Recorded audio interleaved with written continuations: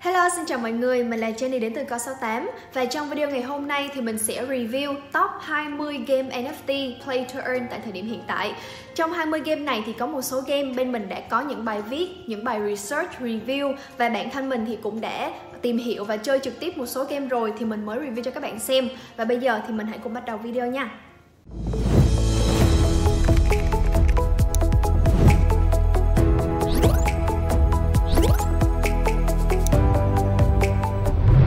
Trước khi bắt đầu video thì bạn nào mà chúng ta muốn ủng hộ Jenny cũng như là đội ngũ con 68 thì mình có thể tham gia vào cộng đồng 68 Gaming. Đây là một cộng đồng Telegram mà tụi mình sẽ đăng những cái bài review, những cái bài hướng dẫn chi tiết uh, về tất cả các game ờ, uh, NFT mà tụi mình uh, đã trải nghiệm được. Thì bạn nhớ là hãy vào uh, 68 Gaming Channel và join luôn cả vào channel nha.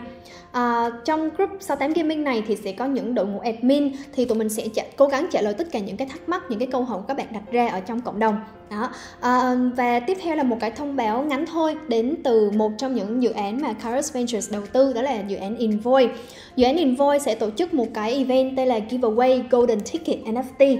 À, ờ, event này sẽ được diễn ra từ ngày 9 tháng 8 đến ngày 14 tháng 8 à, sắp tới. Thì trong event họ sẽ giveaway tức là họ sẽ tặng miễn phí cho bạn 5 cái ultra rare NFT là 5 cái NFT hiếm của đội ngũ Invoice. Thì nếu như bạn muốn tham gia thì các bạn hãy uh, làm theo ba bước sau. Những cái chi tiết thì mình sẽ để vào cái phần description ở bên dưới. Các bạn có thể join vào link Telegram của Invoice Network và sau đó các bạn uh, like và retweet cái giveaway tweet ở trên Twitter của họ và cuối cùng là bạn sẽ comment và đoán cái second NFT collab là gì. Đó các bạn hãy làm theo những cái bước này để được nhận uh, một trong năm cái NFT hiếm này của Invoice nha.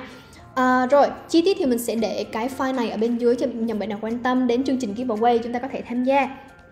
Và bây giờ thì sẽ đến cái nhân vật chính của ngày hôm nay đó là top 20 NFT game play to earn. Thì 20 game NFT này mình sẽ chia thành 4 loại. Loại thứ nhất đó là đã có game và đã có token rồi. Ví dụ như là Axie chẳng hạn, đây là một game mà đã có game cho chúng ta chơi, trải nghiệm và đã có token rồi. À, những game này thì mục đích của mình sẽ là chơi và mình sẽ kiếm tiền và play to earn game à, sorry loại thứ hai đó là loại mà đã có game và chưa có token. Đã có game rồi thì tất nhiên mình có thể chơi game mình trải nghiệm được đúng không? Nhưng mà uh, trải nghiệm thì nó sẽ không ra token để cho mình bán. Ví dụ như là không ra những token được list ở trên những sàn bởi vì nó chưa launch token mà. Cho nên các bạn sẽ chơi để các bạn earn những cái in game token. Những cái in game token sau này nếu như mà họ ra token á, thì có khả năng họ sẽ swap tức là họ sẽ trao đổi cái in game token này thành những cái token khi họ launching. Và bạn lúc đó thì bạn đã có bạn bạn bạn, bạn đã chơi trước rồi bạn đã có được cái in game token này rồi thì bạn chỉ cần swap qua để bạn bán thôi đó. À, cái loại thứ ba đó là chưa có game mà đã có token rồi. Tức là họ chưa ra game nhưng mà họ đã launching token trước. Thì uh, đối với những loại đã có token này thì các bạn cứ theo dõi giá token biến động thay đổi như thế nào lên xuống như thế nào. Và quan trọng nhất là theo dõi cái roadmap của họ. Roadmap tức là cái hành trình uh, dự án sẽ uh, phát triển trong tương lai như thế nào. Xem là đến tháng mấy quý mấy năm bao nhiêu họ launching ra cái bản beta hoặc là bản MVP của cái game thì mình sẽ follow tiếp à, loại thứ tư đó là chưa có gì cả chưa có game chưa có token chưa có gì hết. Mới có một cái gọi là cái idea cái pitch deck và những cái website thông tin cơ bản thôi nhưng mà họ chưa có gì hết. Thì đây là những loại mà cho những bạn nào muốn săn tìm những hidden gem tức là những dự án mà bạn tin rằng sau này cái tốt khi mà họ lên token thì token sẽ boom rất là mạnh thì bạn có thể nằm vùng và quan sát thêm cho những loại chưa có game và chưa có token chưa có gì hết. Ok, mình sẽ đi qua loại đầu tiên đó là đã có game và đã có token. Thì trong nhận trong có thể nói là trong những cái game mà mình đã trải nghiệm qua cá nhân của mình thấy thích nhất và ấn tượng nhất đó là game Axie Infinity. Đây là loại một thuộc loại là đã có game và đã có token rồi. Thì Axie Infinity mình đã nói rất rất rất nhiều ở những video trên con số 8 TV mình đã có 5 cái video về Axie là các bạn đủ hiểu. Nó rất là chi tiết luôn đó các bạn. Mình đi từ chi tiết làm thế nào để mua pet làm thế nào để kiếm tiền từ Axie tất cả mọi thứ. Mình đã nói quá nhiều rồi cho nên hôm trong video ngày hôm nay mình sẽ không nói về Axie Infinity nữa. Các bạn có thể lên con 68 TV các bạn lục lại năm cái video của mình các bạn xem. Um, rồi mình sẽ qua game thứ hai luôn nha. Qua game thứ hai là game mà mình thấy các bạn hay chơi. Dạo này các bạn hay chơi game này rất là nhiều Đó là game Crypto Plates. Game Crypto Plates này có token là skill Và những uh, và game nào có thể kiếm được tiền thì mình sẽ mở ngoặc là play to earn là các bạn có thể chơi các bạn kiếm tiền được nha. Rồi website của nó là cryptoplace.io nhưng mà ở trên website thì nó không nó nó nó nó không có chữ uh, play để cho mình chơi cho nên các bạn muốn chơi các bạn sẽ vào app.cryptoplace.io thì nó sẽ hiện ra cái giao diện như thế này.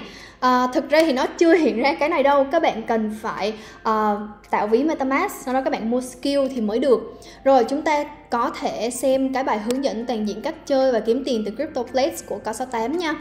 Đầu tiên là mình phải mua skill nè, mình phải có BNB hoặc là BUSD trong MetaMask để chúng ta mua skill. Và giá skill hiện tại, mình check trên CoinGecko đang là khoảng 38 9 coi như là 39 đô một skill. Thì một con tướng hiện bây giờ á, nó chỉ tốn khoảng tầm 0.3 skill thôi. 0.3 skill, các bạn có thể lấy 0.3 skill nhân cho 40 đô thì các bạn sẽ ra bao nhiêu tiền? Thời điểm viết bài là ngày 30 tháng 7 thì lúc đó là một con tướng là khoảng 0.44 skill, thì nó khoảng là 30 đô. Rồi, như vậy thì uh, uh, tương đương chắc tầm trên dưới 1 triệu Việt Nam đồng một con tướng. Và trong một cái team của bạn á nó sẽ có được tối đa là bốn con tướng. Như là Axie thì mình sẽ có tối đa ba con pet đúng không? Ở đây thì mình sẽ có tối đa bốn con tướng. Nhưng mà một tướng chơi vẫn được nha. Tức là một tướng chơi vẫn được nhưng mà Axie thì một con Axie là chơi không được. Bắt buộc phải có ba nhưng mà ở đây là một con tướng chơi vẫn được nha. À, thì để build bộ để build nếu mà các bạn nào muốn uh, earn được nhiều hơn thì bạn build bốn con tướng luôn. Bốn con tướng thì khoảng một trăm một trăm đô là 1,76 skill. Rồi uh, đây thì là các bạn có thể thấy crypto plates của mình đang là tài khoản của mình đang là có bốn con tướng mình sẽ cho các bạn xem. Đây là bốn con tướng mình đã mua ở trong crypto plates. Uh, thì chúng ta sẽ kiếm tiền như thế nào? Về vũ khí trước đi ha. Các bạn sẽ xem trong tab blacksmith. Đây là tab blacksmith. Đây bấm vào chữ blacksmith. Nó sẽ hiện ra những cái vũ khí. Và trên đầu những cái vũ khí nó sẽ có cái biểu tượng đó là màu xanh màu đỏ. Đây là cây nè đây là nước lửa cây cây. Thì nó sẽ có bốn hệ như thế này. Đó là hỏa mộc xét thủy. Thì hệ hỏa sẽ mạnh hơn hệ mộc. Hệ mộc sẽ mạnh hơn xét và xét sẽ mạnh hơn thủy. Tương tự như vậy. Thì các bạn sẽ uh, nhận được vũ khí ngẫu nhiên. Khi mà các bạn sau khi mà mua tướng xong thì các bạn sẽ nhận được vũ khí với cái hệ ngẫu nhiên. À, rồi khi mà các bạn vào phần combat đó khi mà các bạn vào phần combat thì nó sẽ hiện ra những cái vũ khí mà các bạn muốn chọn và sẽ hiện ra cái stamina của con tướng của mình. Stamina ở đây tức là uh, mình gọi là mana cho nhanh. Thì để đánh được một trận thì các bạn cần phải tốn mana. Một ngày các bạn sẽ được cho 200 mana. Và một trận thì các bạn có thể chọn là 40 mana 80 mana 120 hoặc là 160 ví dụ các bạn chọn 40 đi thì các bạn có thể đánh được 5 trận là chúng ta lấy 200 chia 40 là ra 5 các bạn có thể đánh được 5 trận. Ho, hoặc là các bạn đánh một trận 200 mana thì các bạn chỉ được đánh một trận thôi bởi vì đánh một trận xong là nó hết mana của các bạn rồi mình sẽ đánh thử một trận 120 mana. Sau đó mình sẽ chọn vũ khí mình sẽ chọn cây kiếm có 3 sao là cây cuối cùng như này. Rồi nó sẽ hiện ra những con quái như thế này để cho mình đánh. À, đây kéo xuống dưới cùng lưu ý khi đánh ha mục tiêu đánh đó là thắng càng nhiều trận nhất càng có thể và chọn những kèo mà có khả năng thắng cao nhất. Đừng quá chú ý vào kinh nghiệm XP quái càng kinh nghiệm càng cao thì sẽ càng khó đánh. Đây XP của bốn con này thì con cuối cùng là cao nhất là 99 XP có nghĩa là con này hơi khó thắng nhất. À, tiếp theo đó là các bạn có thể xem cái phần Bên dưới là very likely victory hay là likely victory. Very likely victory thì chúng ta nên chọn vào bởi vì khả năng thắng của chúng ta là cao hơn.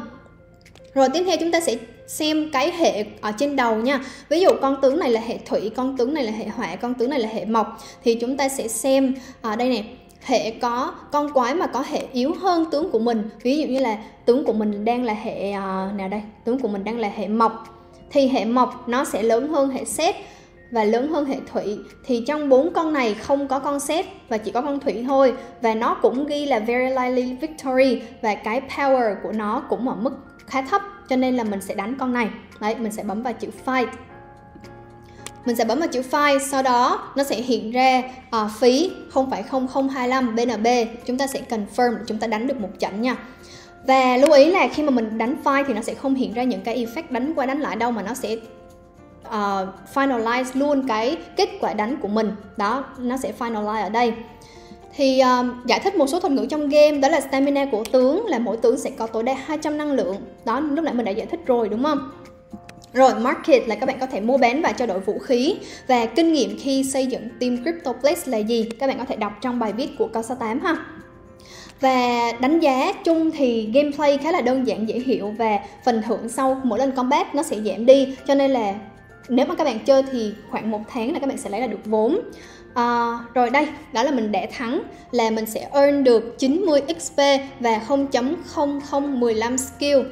Với uh, đổi lại là mình đã spend ra bao nhiêu đây? BNB để làm phí gas. Thì skill nó sẽ cộng vào cái phần bên này cái phần bên trái ngoài cùng. Đó các bạn thấy cái skill của mình đang ở đây thì có một cái khi mà mình chơi crypto place đó là mình thấy cái tỷ lệ thắng nó rất là cao.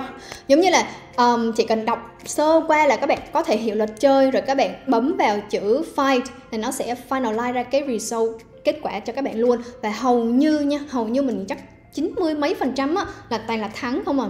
Đó toàn là thắng thắng rất là nhiều. Cho nên thì có rất là nhiều bạn để uh, ờ, question đó là để đặt câu hỏi về cái model của CryptoPlace đó là liệu có phải là model tiền của những người đi trước trả cho những người đi sau hay không? Đó, có rất là nhiều những cái câu hỏi xoay quanh cái mô hình của CryptoPlex thì đây không phải là một lời khuyên tham gia đầu tư, không phải là một lời khuyên cho các bạn tham gia chơi game, mà đây là review game để cho các bạn hiểu nó vận hành, nó diễn ra như thế nào và việc đầu tư hay là việc chơi hay không là quyền quyết định của các bạn. Game thứ ba mà mình muốn giới thiệu đó là Dagon Swap. Dagon Swap cũng là một loại game là play to earn, tức là chơi game mà kiếm tiền được.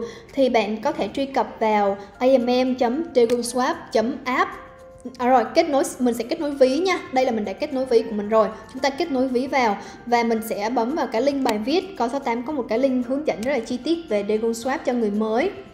Đầu tiên là mình sẽ cần một ít BNB ở trong ví MetaMask để mua DND. Rồi DND thì giá đang là 2,176 đô, các bạn có thể xem ở dưới này. Và mình mua DND trực tiếp ở trên uh, ở trên Dagon Swap luôn. Lúc này, lát nữa mình sẽ cho các bạn xem. Uh, rồi À, đây, sau khi mà có DND xong thì chúng ta có thể vào The Dagon đây The Dagon thì nếu như mà chúng ta là một người mới chưa biết gì hết thì mình có thể vào training field là một cái tutorial một cái hướng dẫn chơi game.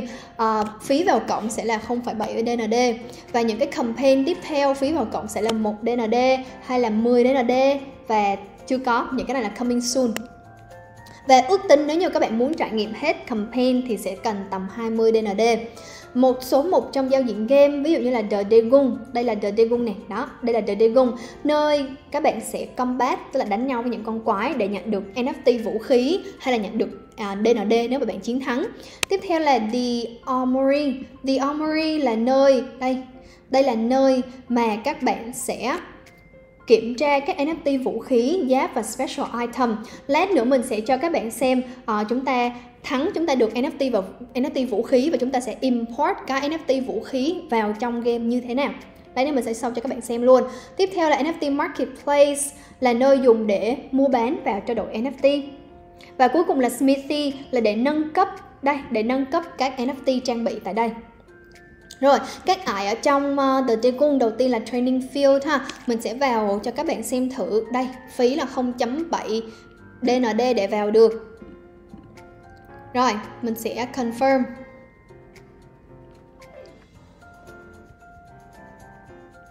Mình sẽ vào tutorial để cho những bạn mới xem thử là cách chúng ta sẽ đánh như thế nào.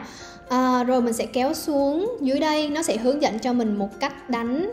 À, đây, nè, Uh, để làm dùng đây là đây để làm phí vào cửa và các bạn sẽ chọn mà các mức phí tăng dần. Ví dụ như phí vào càng cao thì phần thưởng sẽ càng cao. Lúc nãy mình sẽ lúc nãy mình đã chọn là campaign có phí thấp nhất tức là cái phần thưởng của mình cũng khá là thấp đó. Nếu mà thắng thì chắc được không chấm mấy DND thôi.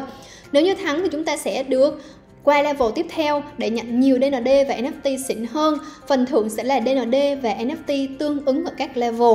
Còn nếu như chúng ta thua thì sẽ mất hết ND, sorry, mất hết DND thưởng nhưng mà chúng ta vẫn sẽ được nhận NFT ở level trước, tức là thua vẫn sẽ được nhận NFT nhưng mà sẽ mất DND nha. À, rồi, nói vào chưa? Đây, begin the fight.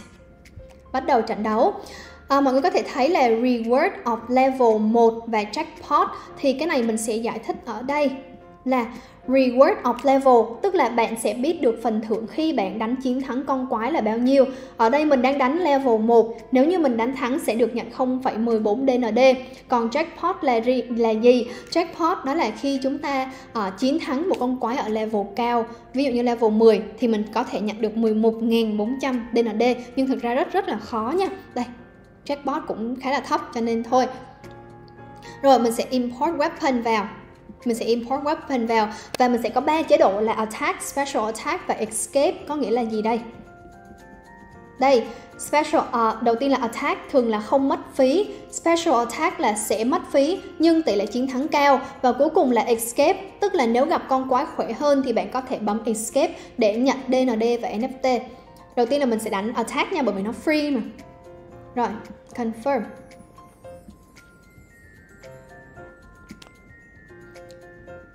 ok nó đang đánh đó các bạn. Lát nữa nó sẽ hiện kết quả cho mình ở đây nha. Rồi đó nó gục đó là mình thắng. Ok mình mình thắng rồi nè. Đây victory continue rồi tiếp theo mình có thể đánh được special attack. Special mà special attack là nó sẽ tốn 0.02 DND một lần đánh và tỷ lệ thắng của mình đang là 100% đó special attack bấm vào confirm luôn nha. Rồi, lát nữa nó sẽ hiện cho mình một cái uh, kết quả đây, nếu như mà chúng ta à, muốn xem thêm về những cái tips cho người mới, chiến lược khi tham gia là gì, mình có thể đọc ở đây nha. Nếu bạn là newbie này thì bạn nên vào cửa training field là như mình đang vào á để kiếm NFT vũ khí, áo giáp và trang bị đặc biệt để qua những ải khó hơn. Và nếu như mà winning chance của bạn cao hơn 70% thì nên tiếp tục đánh, còn thấp hơn 70% thì chúng ta không nên. Rồi lại victory nữa à, Mình sẽ continue nha Rồi à, bây giờ mình đã nhận được 0.22 DND Tức là bây giờ mình không muốn đánh nữa. Mình muốn bấm escape thì mình sẽ được nhận là 0.22 DND Kèm theo NFT vật phẩm. Ở đây mình sẽ à, ở level 3 rồi mình sẽ escape nha. Rồi confirm. Đó xong mình đã escape. À, bây giờ mình sẽ vào à, phần BSC scan để mình cho các bạn xem. Bây giờ mình sẽ vào đây. V1 BSK scan để mình cho các bạn xem mình collect vật phẩm như thế nào. Đầu tiên chúng ta sẽ vào ERC721 nè.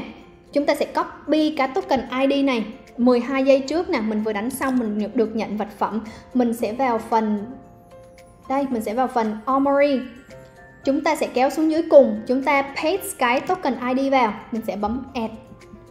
Đó, là nó sẽ hiện ra cái equipment mà mình vừa giành được khi mà mình chơi game. Đó thì lát nữa nếu mà chúng ta chơi những game khác trong The Dragon thì chúng ta cứ add cái equipment của mình vào để mình đánh cho nó mạnh nha. Đó như vậy là xong. Thì các bạn có thể thấy đó là um, câu chuyện kiếm lợi nhuận từ game này thì khá là ít đúng không? Bởi vì mình ở level thấp mà mình vừa mất phí tham gia mà cái lợi nhuận của mình kiếm thì cũng khá là ít. Cho nên thì các bạn có thể tham gia game để trải nghiệm. Tuy nhiên mà muốn uh, bỏ tiền thiệt nhiều để chơi thiệt nhiều để có thiệt nhiều lợi nhuận thì mình nghĩ uh, game này uh, lợi nhuận khá là thấp. Ok, như vậy là ngày hôm nay thì chúng mình đã cùng nhau review xong ba game đầu tiên đó là Axie Infinity, Crypto Blades và Dragon Swap. Uh, file Excel này Jenny sẽ để link bên dưới phần description để cho các bạn cùng với Jenny chúng ta sẽ đi cùng với nhau một chặng đường là top 20 game. Chúng ta sẽ cùng review và đồng hành với nhau qua các video nha. Vì vậy thì các bạn đừng quên cho Jenny một like và một subscribe cũng như là bấm cái chuông ở bên cạnh phía Co68 TV để chúng ta không bỏ lỡ bất kỳ một video nào của Co68 TV trong những video tiếp theo của chuỗi này nha. Ok, cảm ơn các bạn rất là nhiều. À, cảm ơn các bạn đã xem hết video và hẹn gặp lại các bạn ở những video tiếp theo của Cò Sao Thám TV thank you bye.